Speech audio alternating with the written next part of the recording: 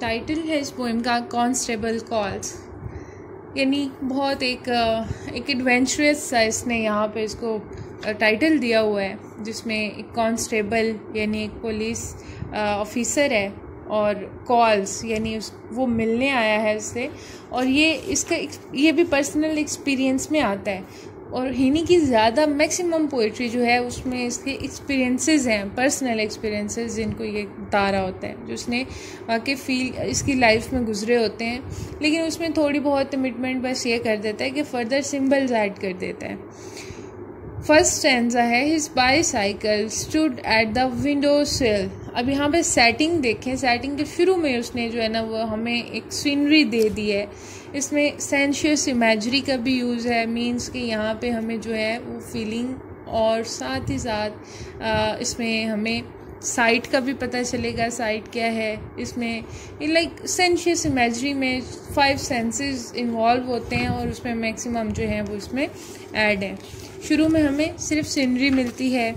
जैसे कि his bicycle stood at the window sill window sill के साथ जो है, वो खड़ी है उसकी बाइक साइकिल या उसने उसको वहाँ पे खड़ा किया हुआ है। The rubber cowl of a mud splasher फिर कहते हैं कि रबर कॉल कहते हैं कवर को। रबर का कवर जो है, वो उसके मड सा पे है। मड यानी उसका जो गारे से या मट्टी से भरा हुआ, अब ये गारा और मट्टी सिटीज़ में तो नहीं होता। ये फिर हमें पता चलता है कि ये किसी कंट्री साइड का जो है वो हमें व्यू दे रहा है। कोई गाँव या कोई टाउन टाइप जगह है।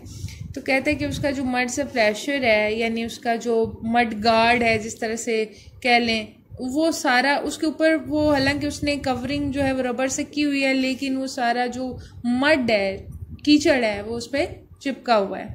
स्कर्टिंग स्कर्टिंग ये भी कवरिंग को ही कहते हैं। The front mudguard its fat black handle grips अब ये सिर्फ़ एक बाई साइकिल है, लेकिन इसने इतना उसको नोटिस किया है कि इसके वो सारी उसकी जो डिस्क्रिप्शन ये हमें दे रहा है ना इट मीन्स कि इसने उसके सारे पार्ट्स को, सारी बाई साइकिल को बहुत ही डिटेल नोटिस किया है। तो इतनी डिटेल डिस्कशन फिर हमें ये दे भी रहा है। बता भी रहा है कि हैंडल ग्रेप जो है वो फैट ब्लैक है। मींस कि उसको भी उसने कवर किया हुआ है ताकि क्योंकि वैसे भी मोटर बाइक्स होती हैं उस पर जो उसके ग्रिप्स होते हैं उस पर कुछ वो लगाना पड़ता है ताकि वो हाथ जो है वो बार बार स्लिप ना हो। तो उसने भी उसको इतना ज़्यादा कवर किया हुआ है कि वो फैट ब्लैक लग रहे हैं। और ये बहुत जैसे इग्नेटिक सा आ, उसका जो है वो इमेज बाईसाइकिल का वो हमारे सामने आ रहा है। और हर तरह से उसने उसको कवर भी किया हुआ है सारा कुछ है। Heating in sunlight the spot spot यानी स्पेड होता है ये जैसे बेलचा होता है। ऑफ़ द डायनमो डायनमो ये एक असल में डिवाइस होती है जो बिजली बनाने वाली होती है।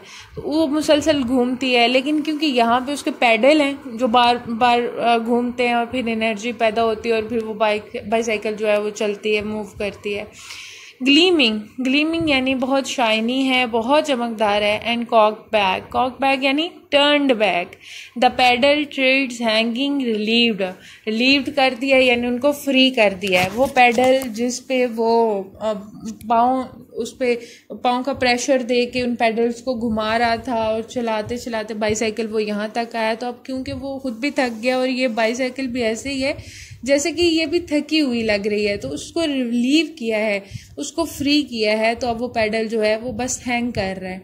Off the boot of the law अब बूट ऑफ़ द लॉ से मुराद क्या है? ये कॉन्स्टेबल है कि कानून की गिरफ्त से ये बाईसाइकिल फ़िलहाल आज़ाद है। इट मीन्स कि वो ये बताना चाह रहा है कि ना सिर्फ़ ह्यूमन बींग्स बल्कि जो ऑब्जेक्ट्स भी होती हैं, उन पे भी ये जो लॉ है, या कानून है, इसकी बालादस्ती होती है हर चीज़ पे। लेकिन यहाँ पे अब हम, क्योंकि उसके वो सारे हालात भी देखेंगे तो वो हम उस सेंस में ले लेंगे कि ये जो इसने एक प्रेशर यहाँ पे दिखाया हुआ है ना लॉ का तो ये लॉ की इन्फोर्समेंट ये विलिंग इन्फोर्समेंट नहीं है according to their publics will बल्कि वो इम्पलिजमेंट की फॉर्म में है।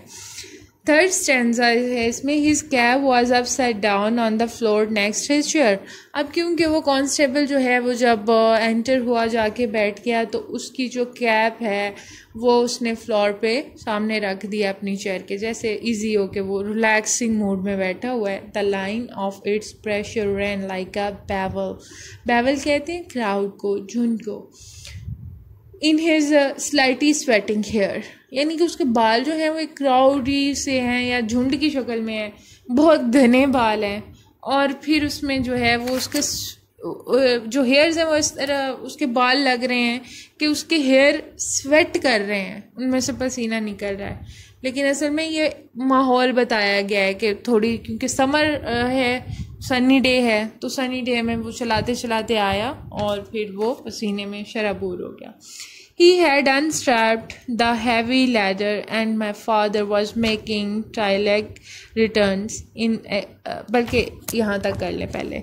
उसने अनस्ट्रैप किया द हैवी लैडर लैडर जो है वो उसका रजिस्टर है, जिस पे उसने एंट्रेंस करनी होती है। जैसे अभी से वो ज़मीन का हिसाब किताब लेने आया है, उसके बाप से कि वो कितनी ज़मीन है या क्या, यानी एक इंस्पेक्शन है उसने करनी। तो वो लेडर अपना या रजिस्टर लेके आया, वो उसने रखा। And my father was making टाइलेग return टाइलेग रिटर्न यानी कि जो जितना भी डाटा है उस खेती की ज़मीन का, वो उसको बता रहा है। In acres roads and passes अब जो एकर्स यानी कि वो कितने ज़्यादा, कितने उसके एकड़ ज़मीन है रोड्स कितने हैं उस पर मतलब वो अपनी हर एक चीज़ जो है वो उसको बता रहा है उसकी मैयरमेंट के साथ कि उसकी जो एग्रीकल्चर के लिए जितनी भी यहाँ पे आ, उसके उसने वो फील्ड्स बनाई हुई हैं उसके खेत हैं तो उनकी प्रॉपर वो डायरेक्शन क्या है और मैयरमेंट कितनी है? और उसका जैसे वो बता रहे ना एकर्स की फॉर्म में तो कितने एकर्स में है? उसके बाद नेक्स्ट टेंस हमें कहता है